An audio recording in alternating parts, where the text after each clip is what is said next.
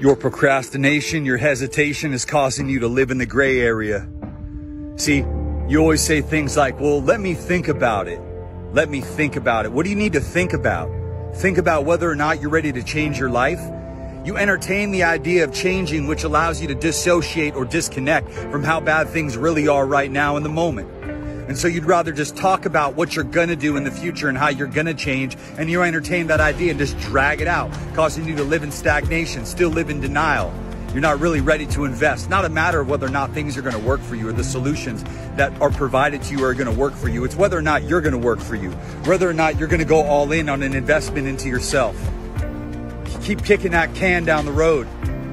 Life is movement. You got to trust in movement. And so you don't trust in movement. What you're trusting in is stagnation. What you're trusting in is regression. It's not progression. And progression is directly linked to happiness, and regression is directly linked to depression. And so you wonder why you stay depressed. I know your type because you're not really ready to go all in. You're not really ready. And, and that's, see, that's a mindset issue. That's a mindset issue. That's what's really keeping you stuck. Is that self defeating, procrastinating, denial having mindset. Why don't you get out of your own way for once?